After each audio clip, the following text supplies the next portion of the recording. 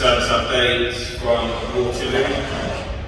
The Waterloo and City Line services will resume at 15.20 today. Good train service on all other lines.